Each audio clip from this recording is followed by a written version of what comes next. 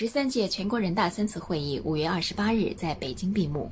会议表决通过了全国人民代表大会关于建立健全香港特别行政区维护国家安全的法律制度和执行机制的决定。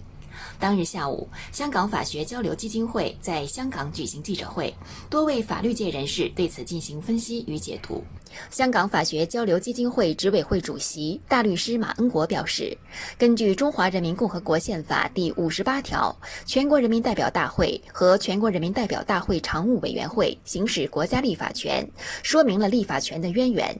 而香港特别行政区的立法权来自《中华人民共和国宪法》第六十二条第十四款，全国人民代表大会决定特别行政区的设立及其制度。马恩国指出，从本质上而言，国家安全事务属于中央政府管辖，不属于香港特别行政区的自治范围。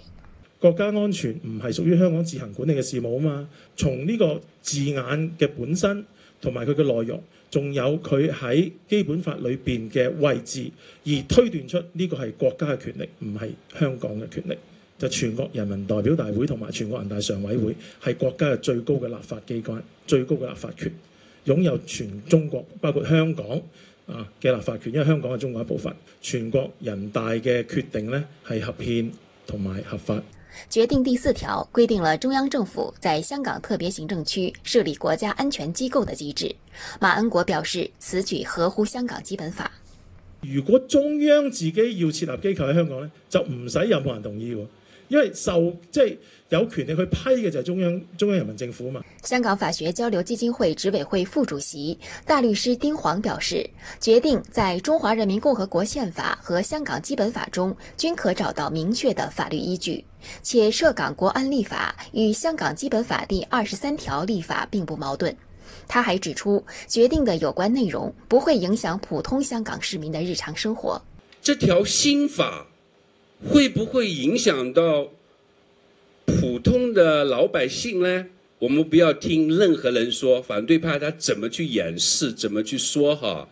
全国人民代表大会常委会定了那个草案的那个白纸黑字的文本，只监管四个领域，影响国家级别的行为，包括分裂、颠覆。渗透、破坏、自由呢，没有涵盖。我套用几十年前的一句老话：舞照跳，马照跑。时间会证明一切。在这个新法的细文文本出来之后，所有的猜测、所有的抹黑、所有的阴谋论。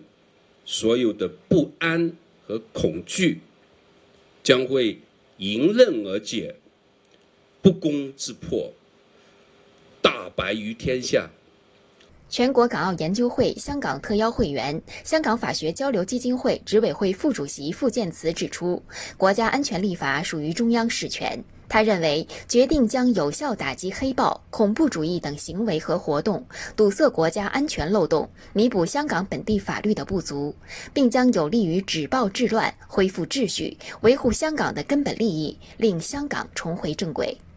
中央出手救香港係有權有責，合憲、合法、合情、合理，唔會削弱咗市民。根據基本法第十七條享有嘅人權同埋呢個自由嘅，我喺度呼籲全港市民就跟暴力割席，拒絕攬炒，特別係年青人呢，你唔好俾人利用做炮灰，以身試法，自毀前程。